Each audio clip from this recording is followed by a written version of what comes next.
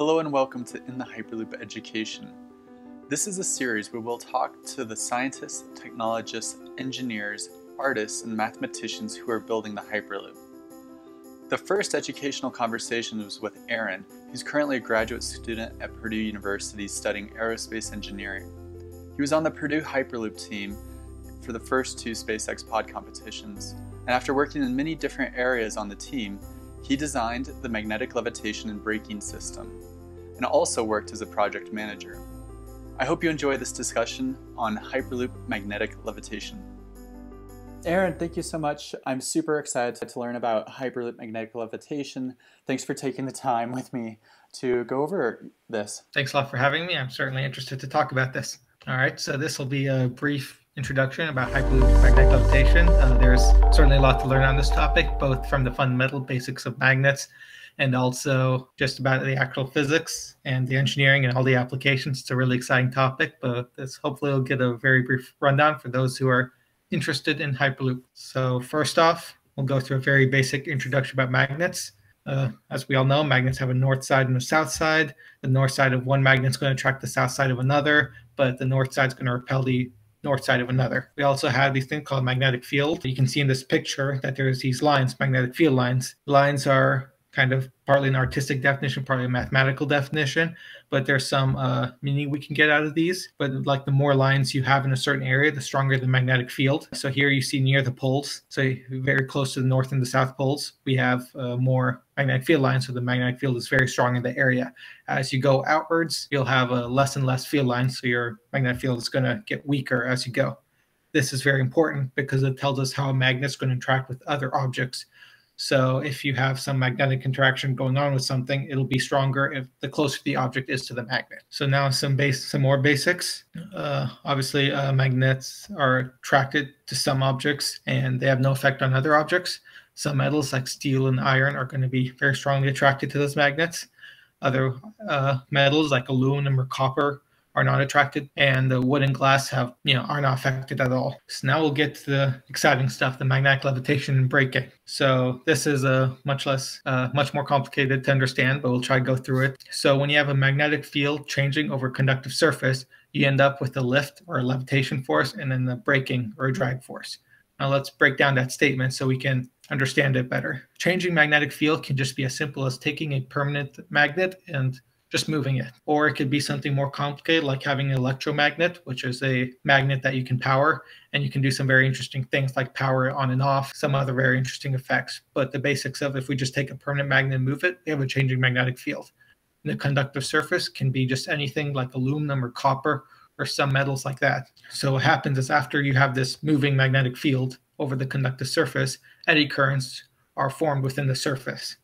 Eddy currents are just electric currents that form in this conductive surface due to changing magnetic fields. And uh, these eddy currents end up producing a secondary magnetic field that is opposite to the first. And then you get your lift and your braking force. So here we have two, uh, on this first image, uh, we have a very common experiment, simple one you can do at home. If you have a hollow copper tube, or it also works with aluminum tube, but it's more commonly done with copper. And you drop a cylindrical magnet through this copper tube, you'll notice that it drops very slowly compared to if you just dropped it in free air. Mm-hmm. that's because you get this braking force that's going to be always acts parallel to the surface or opposite to the direction of motion and it slows your magnet down significantly. Image at the bottom there shows a different one that's a bit harder to do like at home, but you can still try it out. So if you take a say giant aluminum plate and move it under a magnet or move your magnet over the aluminum plate, whichever way works, you'll get a lift and a brake force. So you see here the eddy currents form in the aluminum surface, and uh, that'll also produce that lift and brake force.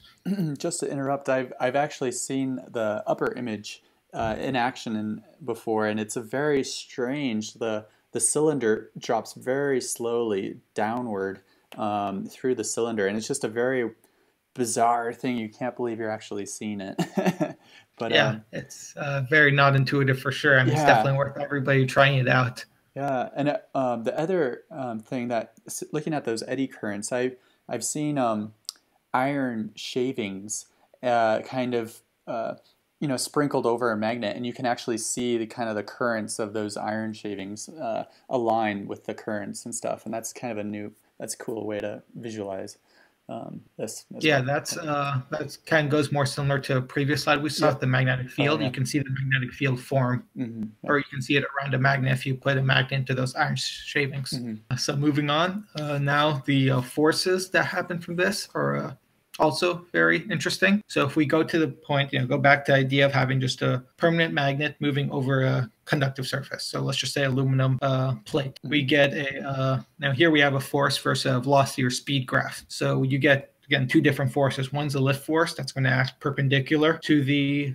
to the aluminum plate and the drag force that's parallel. So you see the drag force kind of increases at first and it's very high at low speeds, but then it'll decrease as we continue on at very high speeds. But the levitation force keeps increasing forever uh, and it asymptotically approaches some large value. So here, you know, depending on kind of your what you want to do, if you want a levitation or a braking system using magnets, you'll have to change your magnetic setup to get these forces right where you want them. Because for a levitation system, you know, you can't avoid the peak in the drag. That's just naturally that's what's going to happen. But you want that coasting kind of once you get to your high speeds, you want that lift to drag ratio to be as high as possible. But for braking, you don't care about lift. You probably want to actually minimize that. And you want obviously a lot of drag. So there's a lot of things you can do. And that's kind of the complicated design aspect of this challenge, but mm-hmm. these are two fundamental forces that we need to be aware of. So next thing is a uh, Halbach array. So this is instead of taking, let's say, one large magnet, you can take some smaller magnets and put them in this orientation shown in this first image. And uh, the point here is you increase the magnetic field on one side, make it negligible on the other side, and that way, by increasing on the one side, you get that stronger magnetic field interaction. So that'll boost both your uh, braking and your levitation forces. So here in this picture, the arrows are in the direction going from the south to north. So they're that direction. And by putting the five magnets in this orientation, you get that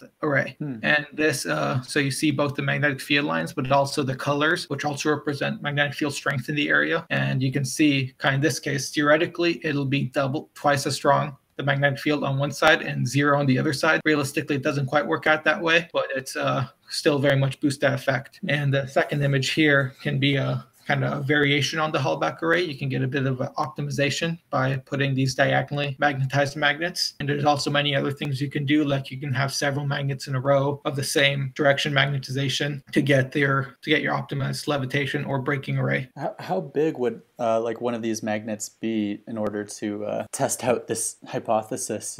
can you get, do it like on a small scale, or do these have to be kind of large magnets? Uh, I mean, you can you can certainly do it in a small scale. The yeah. question is just how uh, significant you'll affect you'll see it. Mm. The magnets probably have to be decently strong uh, mm-hmm. for you to see it, and uh, actually putting together these Halbach arrays is very tough. Uh, you need to look up some uh, kind of tips because you need basically the magnets try to push away very strong. In mm. our case, in the Purdue Hyperloop team, yeah. we use our magnet size for an inch cubed, which are decently big mm. and they're neodymium N52s, which are the strongest commercially available permanent magnets. Uh, so we actually didn't even end up, you know, messing around with those. We had some other professionals work with it because we didn't want to deal with it. But the yeah. kind of if you wanted to do it, the way sort of I've heard is uh, you'd want to sort of have some sort of large, either it's a wooden or aluminum case, has to be mm. pretty strong. Mm-hmm. You load the magnets and you need some way to sort of clamp them into place as you load the next one in. Yeah and you'd also want to glue them together so they don't fall apart. So there's a lot of uh, wow, it's a lot of challenges with the suspension with strong magnets. It's it's better just to do this theoretically, not actually do it in person. And or well, yeah. you get. I mean, there there are uh, quite a few companies that work with this sort of uh, stuff. So uh, you get some of them to help. Oh, good. Outsource it. Cool. Thanks. Another very interesting thing is this rotating Halbach arrays. Wow. So kind of the idea here is if you take a magnet and you were just spin it, just let's say a large disc magnet, or it could be any shape really. Forget about the Halbach arrays for a second. So if we just take a large uh, magnet and spin it, we'll get the same effect that we saw earlier. That's just the same permanent magnet spinning.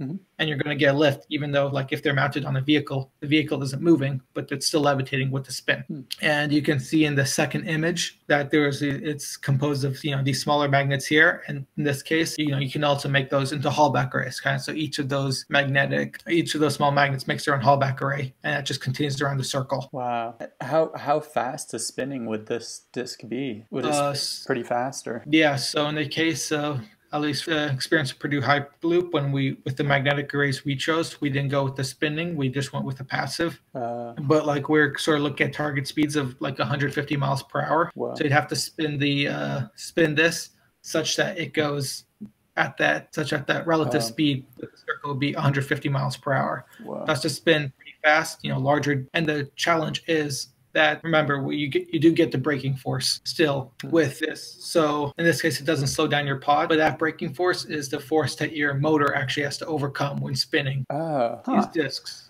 so it's wow. actually like a force on that motor. Yeah. Wow. To overcome. So if that makes sense, the braking force is acting against your motor or against whatever it is you're spinning. Yeah. Whoa. So, so um, that's that's a lot of variables to kind of keep track of. yeah. yeah.